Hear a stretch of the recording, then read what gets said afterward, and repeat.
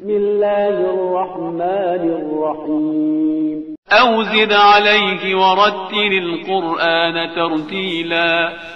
आउज़बिल्लिमिनशैतानरजीम बिस्मिल्लाहिर्रहमानिर्रहीम अस्सलाम वालेकुम व्यूअर्स संडे मदरसा में आपका तहे दिल से इस्तकबाल करती हूँ उम्मीद करती हूँ कि आपने बहुत अच्छे से पढ़ा होगा और अपने बच्चों को इसकी ज़्यादा से ज़्यादा प्रैक्टिस कराई होगी। तो चलिए, हमने देखा था कि किस तरह से अगर ज़बर के साथ जज़म आ जाए तो उसे किस तरह से अदा किया जाए। मगर आज के इस सेशन में है कि ज़बर, ज़ेर और पेश तीनों एराब के साथ अगर जज़म आ जाए तो उसे किस तरह से अदा करना है? आज के दर्स में हम यही सीखेंगे और अपने बच्चों को सिखाएँगे। तो चलिए बढ़ते हैं हम अपने अगले हर्फ की तरफ़। आज का हमारा अगला हर्फ जो है, वह है अलिफ बा ज़बर अब। अलिफ बा ज़बर अब। अभी आपने देखा था, ये ज़बर के साथ जज़म आया, इसे हमने सीख चुका था। बट अब आगे की तरफ़ बढ़ते हैं कि अलिफ बा ज़ेर। पहले ज़बर के साथ था, अब जज़म है ज़ेर के साथ। अलिफ बा ज़ेर इब। अलिफ बा ज़ेर इब। अलिफ बा ज़ेर इब। इसी की तरह हम बढ़ते हैं अगले हर्फ की तरफ़, जो जज़म है पेश के साथ। अलिफ बा पेश उब। अलिफ बा पेश उब। इस तरह भी हम पढ़ सकते इसे अब, इब, उब। या फिर अलग अलग भी पढ़े, जिस तरह से बच्चे अच्छे से सीख सके। हमें देखना है कि हमारे बच्चे कितनी इजी से और कितने अच्छे से सीख रहे हैं, उसी तरह से अपने बच्चों को पढ़ाएँ। अगर अलग अलग पढ़ें तो अलिफ बा ज़बर अब, अलिफ बा ज़ेर इब, अलिफ बा पेश उब। उसी के साथ बढ़ते हैं हम अगले हर्फ की तरफ़। हमारा अगला हर्फ है, सीन बा ज़बर सब। सीन बा पेश सुब। देखिए, बच्चों को सिखाए कि ज़बर के साथ आया तो सब का साउंड आया, मगर पेश के साथ आया तो सुब का साउंड आया। सीन बा पेश सुब। सीन बा पेश सुब। उसी के साथ, सीन बा जेर सिब।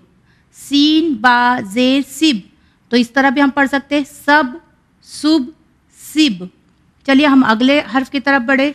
हमारा अगला हर्फ है जीम बा ज़बर जब। जीम बा ज़बर जब। अगला हर्फ है जीम बा ज़ेर जिब। जीम बा ज़ेर जिब। देखिए, जब ज़ेर का साउंड आएगा तो आवाज़ नीचे की तरफ़ हो जाएगी। ये ज़्यादा सदर अपने बच्चों को बताए कि ज़ेर का साउंड आएगा तो आवाज़ नीचे की तरफ़ हो जाएगी। जीम बा ज़ेर जिब।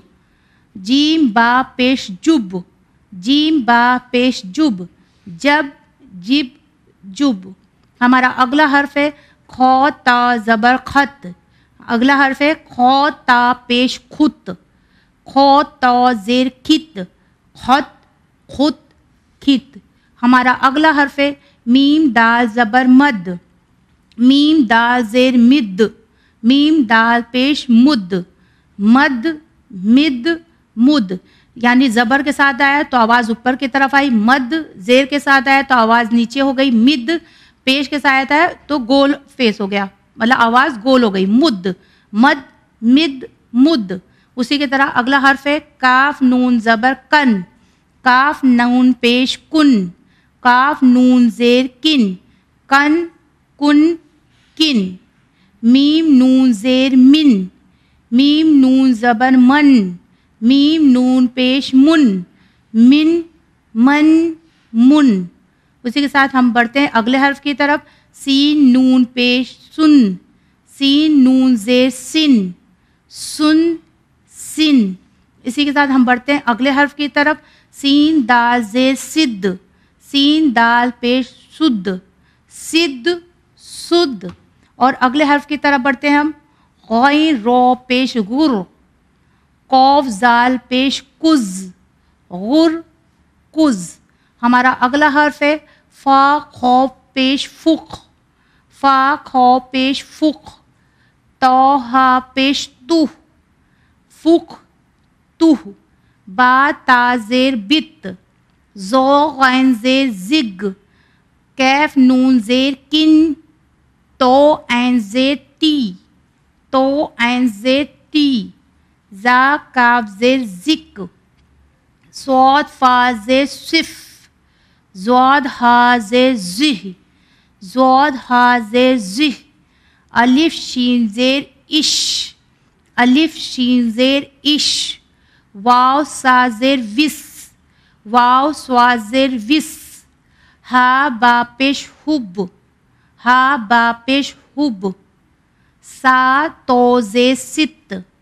सा तोजे सित, दाल सीन पेश दुस, दाल सीन पेश दुस। हमारा अगला हर्फ है जीम जो जीम जो जेर जिज, जीम जो जेर जिज। हमारा अगला हर्फ है जाल कौफ जाल कौफ पेश जुक, जाल कौफ पेश जुक। हमारा अगला हर्फ है हमज़ा और रो, हमज़ा रोज़े इर। हमज़ा रोज़े इर। हमारा अगला हर्फ है अलिफ और मीम। अलिफ, मीम, पेश, उम। अलिफ, मीम, पेश, उम। हमारा अगला हर्फ है हमज़ा और दाल। हमज़ा, दाल, पेश, उद। हमज़ा, दाल, पेश, उद। हमारा अगला हर्फ है हमज़ा और दाल। हमज़ा, दाल, ज़बर, अद। हमज़ा, दाल, ज़बर, अद। हमारा अगला हर्फ है रो और शीन। रो जे रिश रो शीन जे रिश हमारा आखिरी हर्फ जो है वो खौ और जाल। खौ, जाल, पेश, खुज। खौ, जाल, पेश, खुज। बस इसी के साथ आप दीजिए इजाज़त। इस दर्स में, इस सेक्शन में आपको ये सिखाया गया कि अगर जज़म तीनों एराब के साथ आ जाए तो उसकी अदायगी कैसे होगी? ज़बर के साथ आएगा तो मुँह खुल जाएगा। जब जेर के साथ आएगा तो आवाज़ नीचे की तरफ़ हो जाएगी। अगर पेश के साथ आएगा तो मुँह गोल हो जाएगा, यानी गोल का साउंड आएगा।